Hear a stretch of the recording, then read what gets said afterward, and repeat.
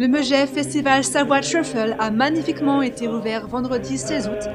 Le festival s'intègre dans la vie quotidienne des Savoyards avec la participation du compositeur argentin Martin Palmieri et le chœur à Piacere de Chambéry. Ensemble, ils ont régalé les fidèles lors de la messe dominicale ce dimanche 18 août.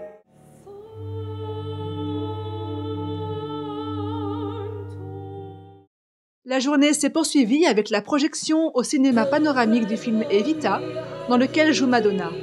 Elle incarne Eva Perón, devenue la First Lady d'Argentine.